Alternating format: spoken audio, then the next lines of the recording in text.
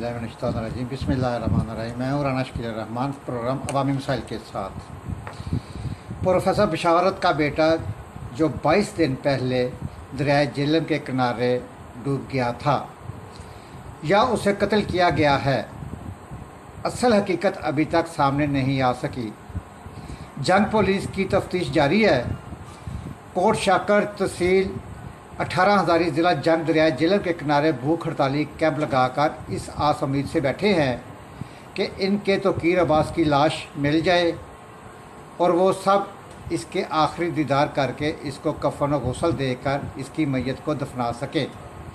Professor बिशारत और घर वालों की जो कैफियत है, हम लफ्ज़ों में अदा नहीं कर सकते। ये उसके बाप की वीडियो देखिए और उससे इंसाफ चाहिए और मेरी अल्लाह काम से अपील है कि उससे ज़रूर ब ज़रूर इंसाफ देंगे। अल्लाह हाफिज़। जो का कि जो मेरी आवाज़ जो है वो अरबाब आलम तक, अरबाब इख्तियार तक पहुँचा रहे हैं। सत्रह तारीख को तकरीबन साढ़े दस बजे, दस के बाद ये वकूआ दरिया जहलम के किनारे पे पेश हुआ।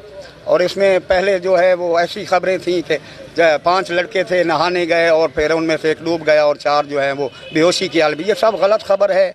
वो मेरा बेटा दरिया के पानी से डरता था और ना ही वो नहाने के बहाने उसको ले जा सकते थे। उसको जिस तरह भी ले गए दरिया के किनारे पे वो ले गए और उन उसको वहाँ डबो दिया है।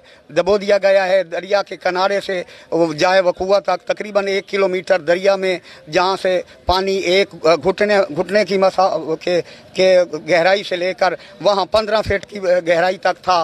तो मेरा बेटा जो पानी को जानता नहीं है और उनके बगौल के ये सारे जो हैं, जो पानी को नहीं जानते, अगर वो पानी को नहीं जानते थे तो पंद्रह फीट गहरे पानी में वो कैसे पहुँचे? और अगर वो पैराक थे तो उन्होंने फिर इसको बचाया क्यों ना? यकीनन वो हमसे पूछ के नहीं ले गए। हमने उनके, हम उनके मेहमान थे खालाजाद जो हैं वो तोकीर के। हमने उससे कहा कि तोकीर को आपने दरिया पर नहीं लेके जाना। वो हमारे सामने कस्में उठाता रहा कि हम इसको नहीं ले जाते। उसके रात को तोकीर के कपड़े तब्दील करवा लिए गए, जो यकीनन मशकूक थे, अपने कपड़े पहना दिए गए, जो इनका यकीनन प्लान था और फिर हमसे इजाज़त लिए बगैर और दरिया पे उस तोकीर को ले गए और इस, उसको फिर दबो दिया और सत्रह तारीख के दस बजे से लेकर अब तक हम दरिया के किनारे पे बैठे हुए हैं। उसकी अम्मा जो है वो बैन कर रही है, उसकी बहनें रो रो, पीट रही है। सारे रेस्क्यू ऑपरेशन मुकम्मल हो चुके हैं। वन वन टू टू से लेकर नेवी के गोताखोरों तक, ये कि कहीं भी हमें तोकीर अब्बास की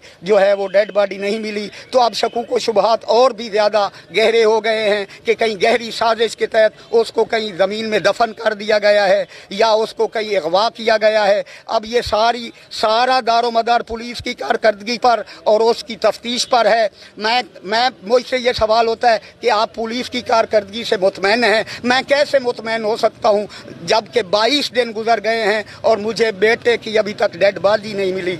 मैं उस वक्त उस वक्त पुलिस की तफ्तीश पे मुतमैन होऊँगा, जब मुझे बेटे की नाश मिलेगी और ये शवाहद मिलेंगे कि मेरे बेटे के साथ कौन कौन सा जुल्म हुआ। मेरी बीवी नंगे पाँव इस तपते हुए तनूर में, जून के महीने में चल रही है और इस कसम उठा चुकी है कि मैं तब तक खाऊँगी नहीं और जूता नहीं पहनूँगी, जब तक मुझे बेटे की नाश बेटा मुझे ज़िंदा या मुर्दा किसी सूरत में मिल नहीं जाता। मैं अरबाब इख्तियार से दरख्वास्त गुजार हूँ। मैं वज़ीर अला पंजाब से भी गुजारिश करता हूँ, मैं जनाब इमरान खान साहब से भी गुजारिश करता हूँ कि जिस तरह भी मुमकिन हो, जितना जल्द मुमकिन हो, मेरे बेटे की डेड बॉडी जो है, वो मुझे मुझे दी जाए ताकि मैं उसकी तदफीन कर सकूँ और मैं अपनी फैमिली को इस भूख हड़ताल से और कई अमवात से जो सर पे खड़ी हैं, इससे वापस ज़िंदगी की तरफ़ लौटा सकूँ। और अगर इसमें एक हफ़्ता मजीद देर कर दी गई तो मैं बता रहा हूँ कि मेरी फैमिली का शायद कोई फ़र्द बाकी बाकी ना बचे।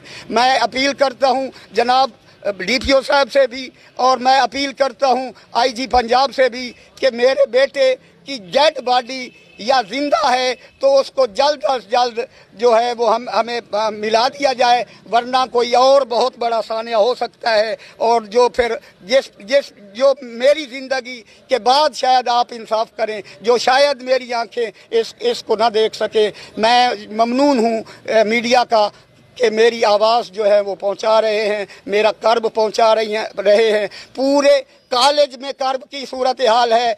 प्रोफेसर स्टाफ में और पूरे पंजाब में मुझे काले आ रही हैं। तो मैं अपील करता हूँ कि अगर आप ये चाहते हैं कि ये एहतजाज जो है, इसका दायरा वसी ना हो जाए। अभी तक तो सिर्फ़ मैं कर रहा हूँ। मेरा बेटा था ना, मैं कर रहा हूँ। उसकी अम्मी कर रही है, उसकी बहनें कर रही हैं। मुमकिन है जब हम भी ना रहे और फिर हमारा एहतजाज पूरी दुनिया करे और फिर फिर क्या इंसाफ है?